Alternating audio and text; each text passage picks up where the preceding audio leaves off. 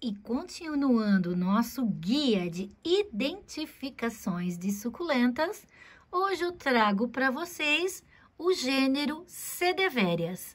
Eu sou a Prof. Rutinha e você está no canal Prof. Rutinha e suas suculentas.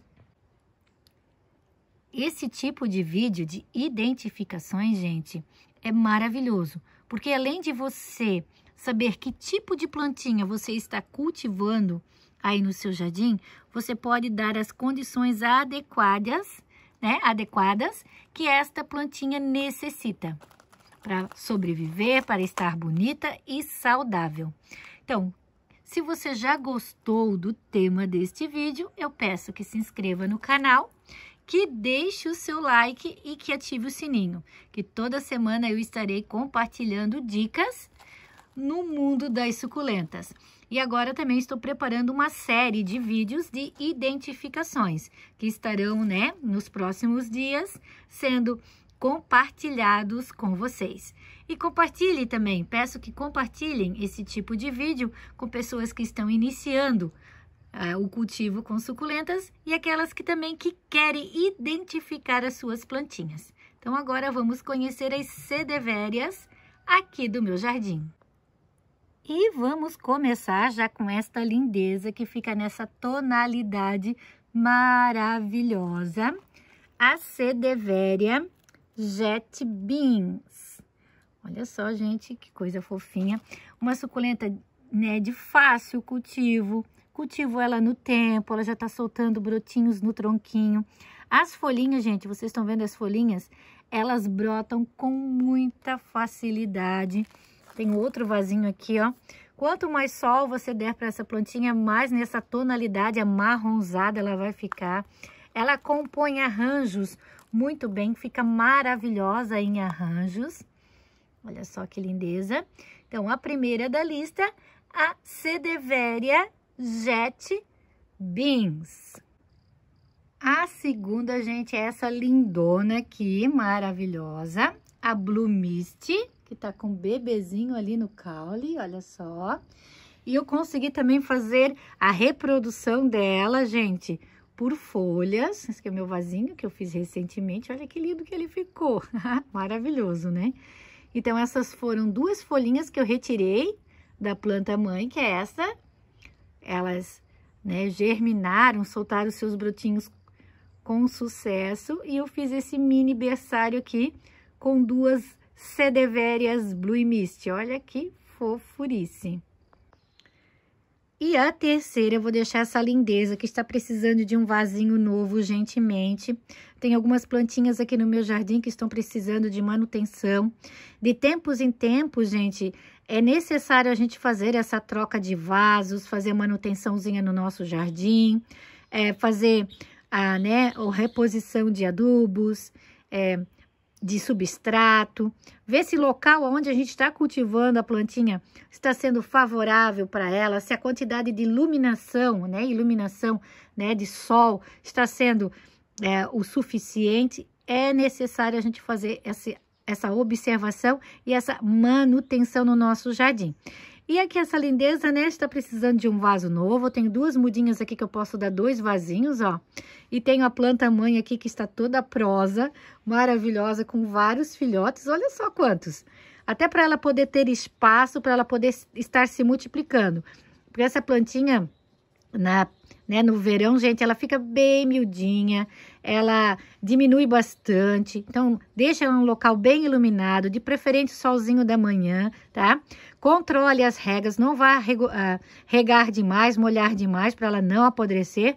Que no outono e inverno ela renasce de novo e fica assim maravilhosa, se multiplicando e soltando muitos brotinhos aí pra gente. A quarta, gente, eu vou deixar para vocês a Cedeveria Mayalen. Tem pessoas né, pedindo para que eu faça um vídeo só com a Cedeveria Mayalen. Então, agora eu vou falar um pouquinho sobre o meu cultivo com ela. Agora ela está florindo. A floração dela que fofinha, né? Temos vários hastes florais aqui. Ela tá nesse vaso maravilhoso aqui. Olha que lindona. E eu tenho dela também, gente, no carrinho de mão bem estressada. Deixa eu mostrar bem certinho para vocês aqui a floração dela. Olha que linda. Então, uma suculenta de muito fácil cultivo, cultivo no tempo, tá? Pode cultivar no tempo que ela vai muito bem. Aqui ela está bem estressada, ela recebe bastante sol, né? Como é cultivada no tempo. Agora ela está florindo, está com várias hastes florais. É, agora, né, depois que ela solta essa floração, a gente já pode estar retirando a floral. Essas folhinhas aqui, gente, elas brotam. É uma suculenta que se é, multiplica com muita facilidade de um vasinho que eu comprei, eu já fiz muitos, eu tenho dela aqui, tenho dela nesse outro vaso, eu tenho dela em latas, eu tenho dela em outros arranjos, outros canteiros. Então é uma suculenta de muito, mas muito fácil cultivo. Aqui ela não está tão estressada, né? Como vocês podem ver, ó. Tá uma tonalidade mais verdinha. Vou mostrar bem para vocês, para vocês verem bem, né? E aqui ela já bem estressada, ó. Linda, né? Então, meu cultivo com ela é esse, é sem mimimi, gente. Ela é de fácil cultivo, só você tem que dar bastante sol, porque é uma suculenta de pleno sol. Então, ela precisa de, de bastante sol para ficar bonita, para ficar colorida e para ficar saudável. E o que dizer da Cederveria letícia, né, gente? Essa planta maravilhosa, de muito fácil cultivo, cultivo ela no tempo, cultivo ela em vasos, cultivo ela em latas. Então ela se reproduz, ela se multiplica com muita facilidade. Ela vai florir, ó, já está se preparando para florir. Olha que coisa mais fofinha. Então, né? De um vasinho que eu adquiri com três rosetinhas, eu já tenho dela espalhada em todo o meu jardim, aqui no sítio, em casa ela só vem se multiplicando cada vez mais.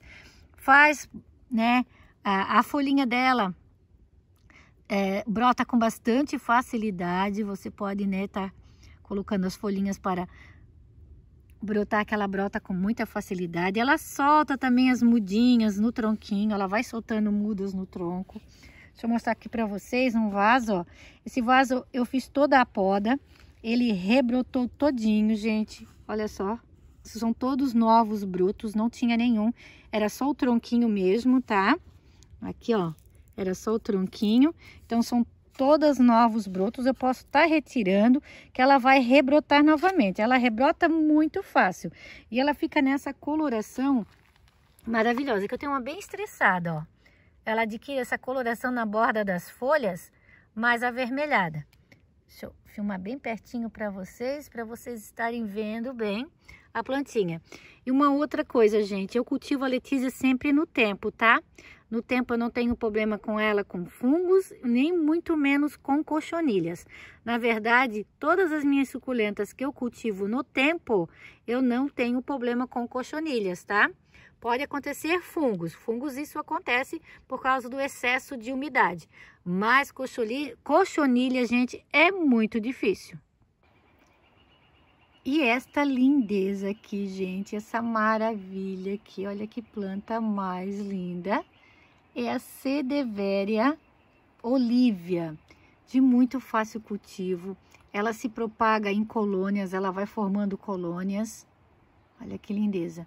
Tá aqui nessa lata maravilhosa lá da Vanilde, do Bonito Lindo Arte. Olha que fofurice. Olha que linda, ela vai adquirindo essa coloração na pontinha das folhas, gente, avermelhada. Muito linda. Então, eu tenho dela aqui, que aqui é coberto. Só pega água da chuva realmente quando chove com vento. Senão sou eu, né, que controlo as regas.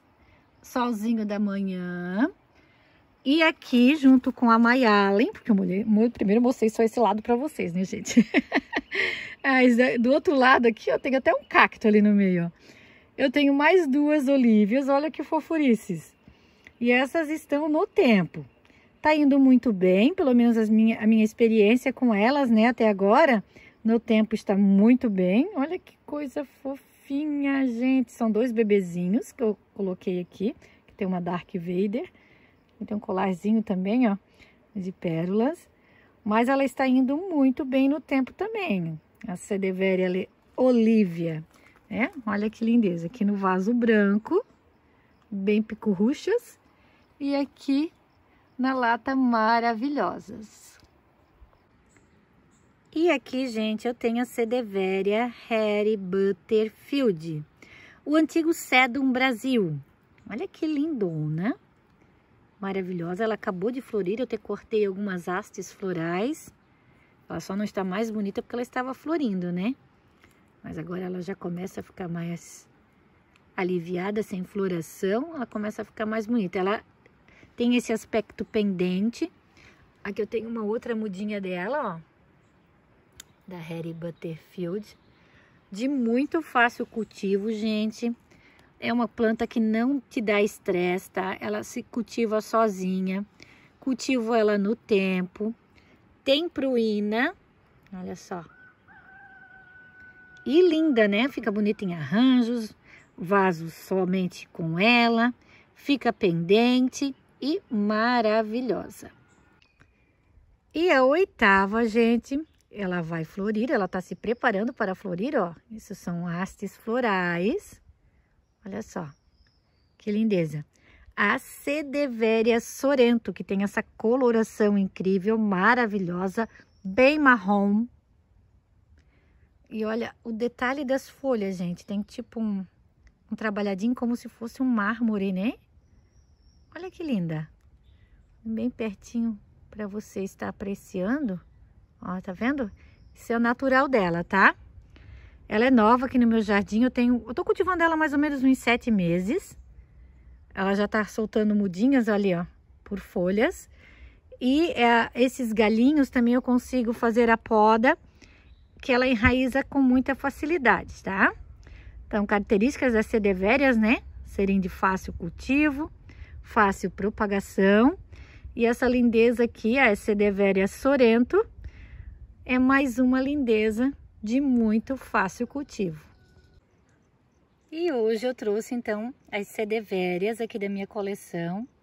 A gente, quando começa a fazer essas identificações, gente, a gente também percebe que às vezes a gente não tem é, tantas espécies de alguns gêneros, né? E as cedevérias é, infelizmente eu tenho apenas oito, né? mas eu, né, pela pesquisa que eu fiz, eu vi que as cedevérias realmente não é um, um, gênero tão vasto assim, né, com espécies de suculentas. Aqui eu tenho jet beans, ó. Olha que fofurice aqui nesse vasinho. Gente, que fofurice, que coisa mais linda. E aqui a Letícia. Mais aqui da Mayalen, olha que lindeza que estão. Muito lindas, né? Então elas ficam lindas em arranjos, é, no vaso somente com elas. São de muito fácil cultivo, esse, né? Como vocês sabem, esse cantinho aqui são, né, suculentas que eu coloquei em vaso de barro e que ficam diretamente no tempo. Esse vasinho aqui tá muito lindo. Deixa eu tirar aqui para mostrar para vocês. Um momentinho, gente. Pega aqui na mão. Olha só. Então eu tenho a Letícia, tem um raminho aqui do colar de pérolas e eu tenho a jet beans aqui atrás. Que lindo, né? Mais a lilacina e mais o rubro tictum aurora e um cacto. Por que não um cacto também, né, gente? E olha que fofurice que ficou.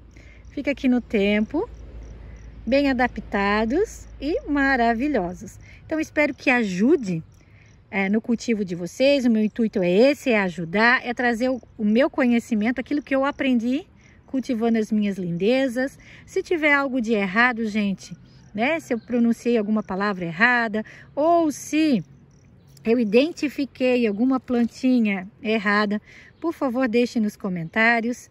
Né? A pronúncia, infelizmente, às vezes a gente não consegue corrigir, né?